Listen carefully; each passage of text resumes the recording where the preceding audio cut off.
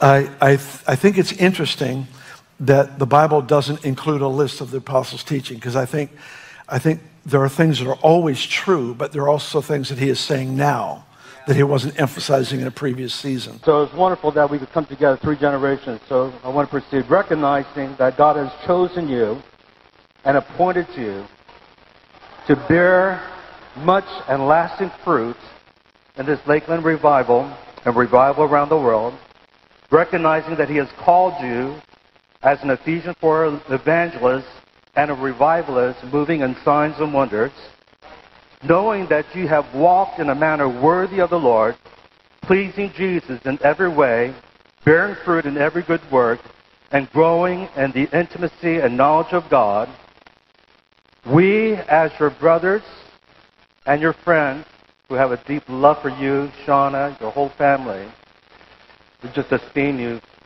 We are here to stand with you, support you, and we are here to commission you. In the name of the Father, Son, and Holy Spirit, in the power of Jesus' name, with special oil from Chuck Pierce. It's called Revival Oil. Chuck could not make it, but he sent this FedEx special oil for you. A lot of that is extremely troubling to me. Extremely troubling to me.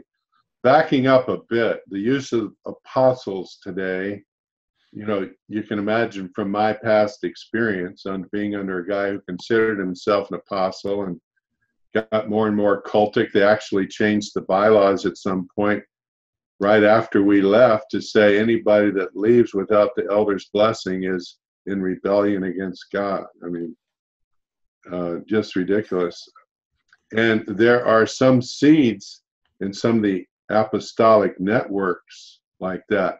For example, when you take Psalm 133 about how good and pleasant it is when brothers dwell in unity, it's like the oil goes down the beard. I've heard uh, one teaching that says that that's clearly uh, discussing apostolic headship, and the anointing flows down from the head to those under the oh. authority.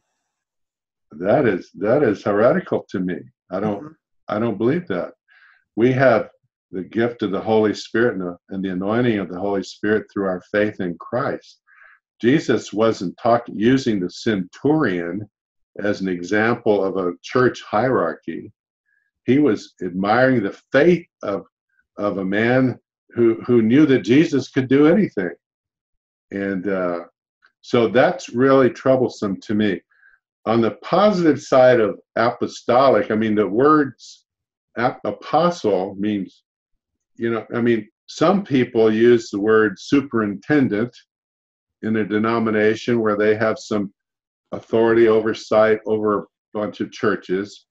Others might use apostle and others might use, uh, you know, bishop. Um, but but so I want to get underneath what they mean by the word apostle.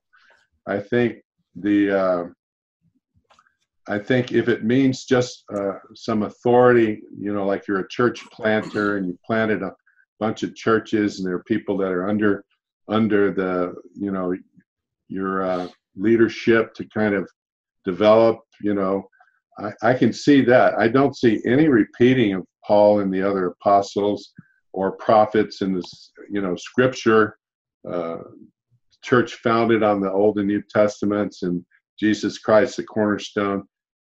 Anybody that means that is is heretical right off the bat.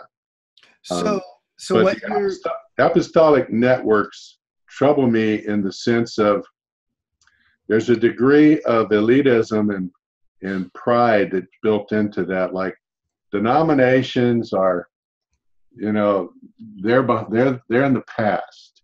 I went to uh, Peter Wagner thing about post denominational. I was, and it troubled me a lot. I didn't like what I heard. Uh, it's kind of like we're the spirit filled people. You know, we're doing the God thing. That same thing happened in Christian Growth Ministries back back in the 70s, and uh, huge, huge damage done to many, many people. So I'm very wary of anything that smacks of that kind of authority control over over people like that. Anyway, and, go ahead. and sad to say, this is actually uh, comes from coveringandauthority.com, which is uh, John Bevere's website for his book Undercover, where he's talking about covering theology. And he on the on the home page when he highlights the key points of the book, he emphasizes uh, the fivefold ministry of apostle, prophets, evangelists, pastors, and teachers represents God's authority on earth and rebellion to authority opens one up to the demonic realm, resulting in deception. Uh, people should live by the principle of obedience rather than reason. God does not judge people on the fruit of their life, but on how faithfully they followed authority. And those outside the local church and the covering of its leaders are at serious risk of spiritual attack. And did he? Did he actually? Does he actually believe that? Yeah, it's on. Absolutely. It's actually on the back of his yeah. book. The the church I was part of that that was required reading. That very book. Oh my goodness! I, would forgotten just how bad it was. I, I, used to have a copy, but I had a uh, a mouse attack a few years back, and I lost hundreds of books. well, Michael, it was your website that uh, took me to that uh, that other website. One of your previous articles on covering theology. Well, one one thing is clear in the Bible, the New Testament. Jesus is not an absentee Lord, and he doesn't need a, a, a designated Lord to take his place. Amen. Whenever you put a human being in the place exercising the lordship of Jesus, you have created um, an idol, mm-hmm. an idolatrous system, because the purpose of leaders is to equip the saints and bring us into a mature relationship with God. Yeah. And, and uh, to require obedience, blind obedience to human leaders is definitely cultic. Mm-hmm. Definitely really. And in fact, um, you know, it reminds me a lot of my conversations with uh, people in the LDS church. And, you know, they're very big on we have a living prophet. And I say, I do too. And they go, "Oh, really? Who's your living prophet?" I say, "Jesus." That's right. Jesus. Jesus is, is my prophet. He is my high priest. He is my savior. He is my king. He is my friend. My Lord. I have no need of anybody except for Him. He's our mediator. Yeah. Yeah. So Jesus is present, and he he ex- exerts, manifests his lordship through the Word of God in conjunction with the Holy Spirit. And we don't need anybody in the way of that.